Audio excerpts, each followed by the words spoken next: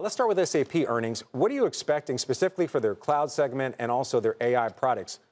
I think it's going to be an acceleration. I think they're seeing robust numbers. And look, if you look at SAP, it's taken a, you know, I think a little bit of a time here, but they are going to be a foundational player. I think this is going to be a huge step in the right direction on cloud. Check's actually very strong for SAP and just the broader hyperscalers. You know, when it comes to cloud, uh, SAP is actually the global leader when it comes to ERP, enterprise resource planning software. Uh, Morgan Stanley out with a, a big note. Uh, kind of looking at that, saying that it might be even a super cycle for that as well. They're saying that SAP would obviously be a beneficiary. Are you hearing similar things in your channel checks? The idea that more of that uh, ERP software that's used for human resources, manufacturing, logistics is going from on-prem into the cloud? Yeah, I mean, it's exactly it. 45% of workloads that are in the cloud. We that goes to 70% by the end of next year. So SAP, Oracle, of course, Microsoft, Google, Amazon, huge beneficiaries there. This speaks to the second derivative of the AI revolution. It's not just about NVIDIA, Microsoft, SAP is now joining that AI party. All right. Um, the cloud uh, segment for SAP, that's supposed to see some growth while their software is actually supposed to pull back according to estimates. What can we read from SAP earnings today after the bell that'll give us some insight into the hyperscalers like Amazon, like Microsoft, sure. like Google? Huge barometer. I think you will see an acceleration on the cloud. And that's really right now, just get the popcorn out in terms of what we believe we're going to see from Microsoft, from GCP, from Google, and from Amazon. This will be, if I, if I think about the narrative, hyperscalers are going to be huge here in terms of this quarter, which I think is a barometer for just this second inning of the AI revolution. So for SAP, they're expected, or forecasted, I should say, to see 27% growth in their cloud segment year over year. Dan Niles, the, soundbite we just played, he just mentioned that Microsoft they actually missed estimates on Azure.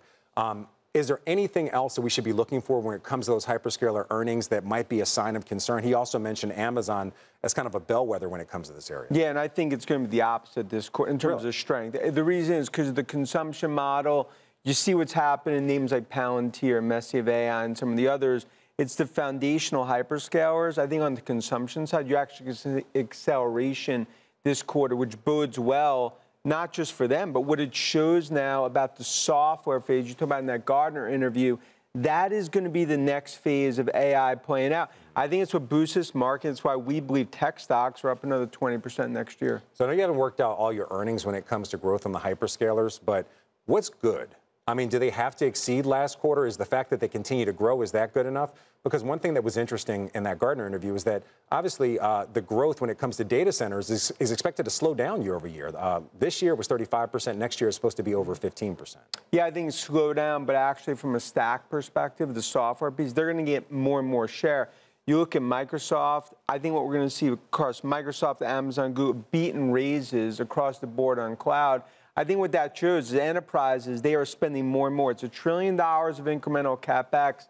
This is now all playing out. If you think about the script, the second derivative, the third derivative, the rest of tech now join the AI party. And I think that's really going to be what's playing out here. It all starts with the hyperscalers. SAP, I think, starts that party off. Before we let you go, you mentioned capex spending. So a couple quarters ago, we saw Meta actually get hit. Uh, investors seem to think they spent too much on capex. This time around, when we're looking at earnings, how, how are investors looking at capex? Do they want to see another acceleration? Do they want to see a slowdown? I think they want to see another acceleration because the, the last thing, if you look at Meta, maybe at first that was the initial knee jerk reaction. You want to see them aggressively doubling down on AI because it shows if they're seeing the actual ROI, that's a because that's really what's going to fuel 2025. Meta, clear beneficiary of that.